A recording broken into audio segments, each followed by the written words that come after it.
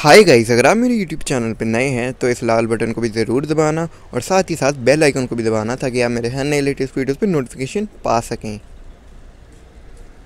Hi guys and welcome to another new video on my YouTube channel automotive paparazzi मेरा नाम है Dennis और आज हम बात करेंगे the Etios Liva and Etios Platinum के बारे में। जी हाँ जो अभी लास्ट ईयर ही थोड़ी बहुत अपडेट करी गई थी। ये कार जो है, ये बिक्री है from 2010 in the same shape in the same length इसमें कुछ अभी तक डिफरेंस नहीं करा, बस थोड़े बहुत फीचर ऐड कर दिए थे और थोड़े बहुत बम्पर चेंजेस वगैरह और हेडलाइट टेल लाइट चेंजेस वगैरह कर दिए गए थे।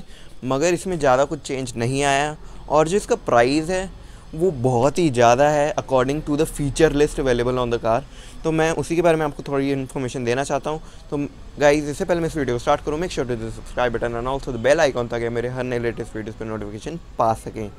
सो so गाइज़ अब जो रिपोर्ट आई है कि ये पता चला है कि बी एस फोर मॉडल्स में अभी तक बिक रही थी Etios Liva and Etios Platinum तो अब वो हो चुकी है डिसकंटिन्यू बाय टोयोटा जी हाँ अब वो बिकेगी नहीं बिल्कुल भी।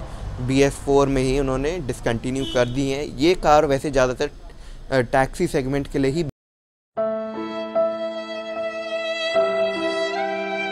बिकी है और अभी तक बिक भी गई होंगी काफ़ी।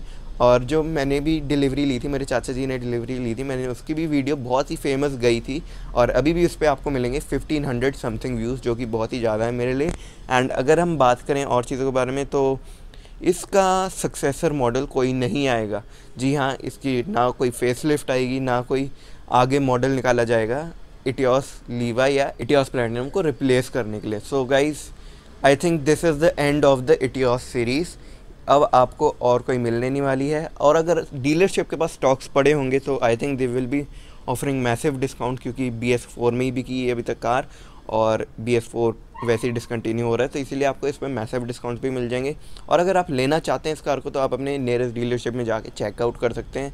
और फ़ी अगर आपको सही रेट में मिल जाए ये कार तो इसके फ़ीचर्स बिल्कुल भी गलत नहीं है। सही फ़ीचर्स मिलेंगे आपको, अगर आपको ये मिल जाए सिक्स थर्टी या सेवन लैक्स की रेंज तक में। So guys thanks watching this video make sure to the subscribe button and also the bell icon ताकि मेरे हर नए लेटेस्ट वीडियोज़ पर नोटिफिकेशन पा सकें। बाय